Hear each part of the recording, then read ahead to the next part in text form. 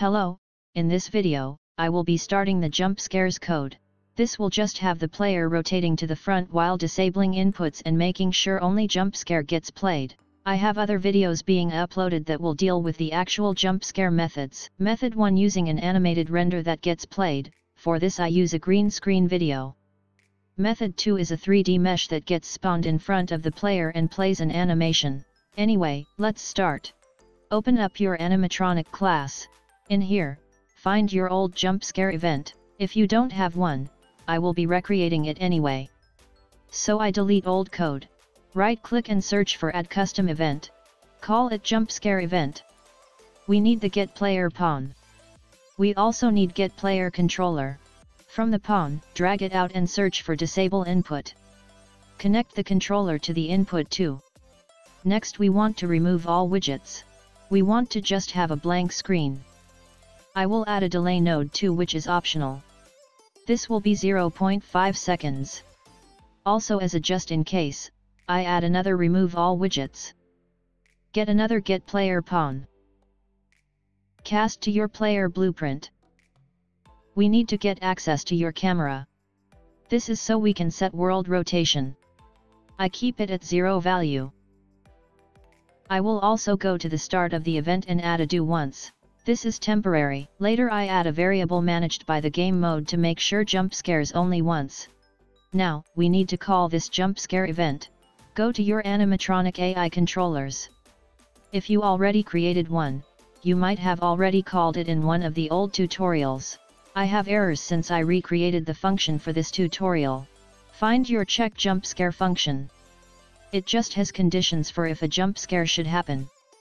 I then find my old jump scare event and I replace it with the new one. I right click it and click refresh.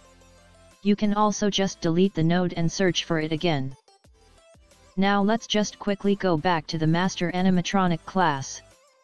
On your event begin play, you want to add a slight delay and call your jump scare event. This is for testing so we can see the current code working for now. Also we need to make one change, go to your jump scare event and if you put set relative rotation, change it to set world rotation.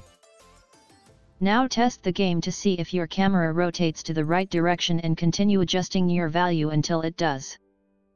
If it works, I am going to add some final touches to this event. First, after your delay, I will add a set actor hidden. Tick it to true as we don't want this animatronic to be shown while there is a jump scare. Next, we are going to replace this do once with a working system. Delete the do once. Add a branch and you want to connect the false to the code. Next the condition, get your game mode as that is what we will be using. Cast to the right game mode and now we need to make the variable in the class. Go to your game mode, I can easily just use the world settings to get to the game mode. Once it is opened, add a boolean variable called is jump scare active. Now compile and save. Now go back to your animatronic class. Check if you can get your jump scare variable. Now this isn't a good way, we don't want to always cast when this event is called. We can copy the cast to game mode and put it at the event begin play. I deleted the test code and just placed the cast to my game mode. Then I dragged from the return value and promoted it to variable. Call it game mode reference. Now compile and save, you might get an error but we can ignore it for now. Go back to your branch condition. Drag and get your game mode reference. Drag from the reference and get your is jump scare active and connect to the branch. Now to make sure this event is not called again, get your game mode reference and do a set is jump scare active and set it to true. Make sure the set is connected to both sides. Clean up code and compile. Now you can test it. Hope you enjoyed this video but it's not over as you can do the other two tutorials which are the visual jump scares. I made them separate to make it easier for you to learn two different methods as shown earlier in this video. Hope you enjoyed this tutorial and see you next time.